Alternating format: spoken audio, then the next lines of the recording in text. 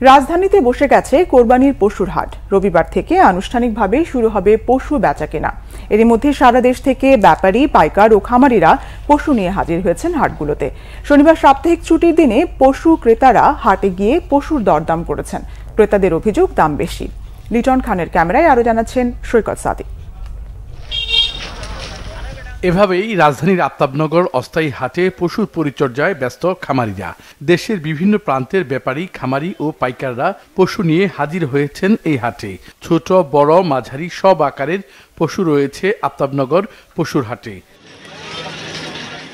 রাজধানী ঢাকা উত্তর ও দক্ষিণ সিটি কর্পোরেশনের আঠারোটি অস্থায়ী এবং দুটি স্থায়ী হাটে রবিবার আনুষ্ঠানিকভাবে পশু বেচাকেনা শুরু হবে। তো প্রতিবারই প্রতি বছরই আমরা আমাদের ফ্যামিলিকে নিয়ে ফ্যামিলি মেম্বারদেরকে নিয়ে একটু হাটের আগে যখন একটু মানুষজন কম থাকে তখন আসি একটু দেখার জন্য কি অবস্থা কি পরিস্থিতি। দাম টাম একটু যাচাই বাছাই করি।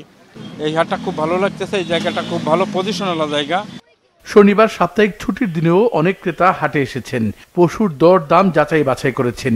কেউ সাধ্য অনুযায়ী পছন্দের পশুও কিনেছেন। তবে দাম বেশি বলে অভিযোগ তাদের। গরু আসছে প্রচুর গরুর সমারোহ হয়েছে অনেক এবং গরু আরও আসতেছে। কিন্তু ওনারা এখনও ছাড়ার মেন্টালিটি নিয়ে এখনও দাম ছাড়ছে না।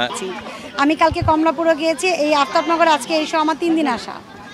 ঠিক আছে ব্যাপারীরা এখনও গরু ছাড়ছে না। আমি কিন্তু তিন পঁচিশ পর্যন্ত একটা গরুর মধ্যে বললাম তাও ব্যাপারী কিছুতেই ছাড়া হয় না ঘুরলাম ঘুরে আর ভরা এটা বাবু হইল আল্লাহ দিলে এটা কিনলাম এক লাখ পনেরো। আর বিক্রেতারা বলছেন খাদ্যের দাম বেশি হয় পশুর দাম বেশি। হাটের সার্বিক প্রস্তুতি নিয়ে মিশ্র প্রতিক্রিয়া ব্যক্ত করেছেন তারা। দামটা পনেরো লাখ আছে এখন বাজার হিসেবে কম দিয়া দিব আটটার নাম হচ্ছে বড় হাট কিন্তু এখন কিন্তু হাটে কোনো বেচা কেনার লোক আসেনি এখনও। এই হাট ব্যবস্থাপনাটা আমরা মানে পুরোপুরি সন্তুষ্ট না। এখানে টয়লেটের সমস্যা এখানে বাঁশ নিতে গেলে সমস্যা। আমি যেমন তেরোটা গরু আনছি নাটোর থেকে। এই আমার গরুর থেকে তারা মোটামুটি দেড় দুই লক্ষ টাকা পাবে। কিন্তু আমার পিছে তারা কি পাঁচ হাজার টাকা ব্যয় করতে যদি কার্পণ্যতা করে?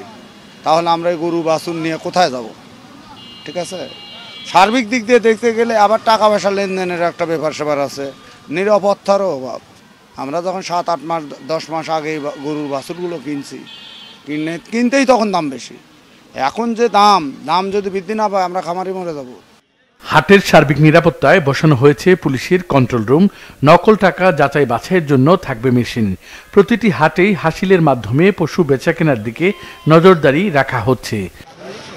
সৈকত সাদিক, বাংলা ভিশন, ঢাকা।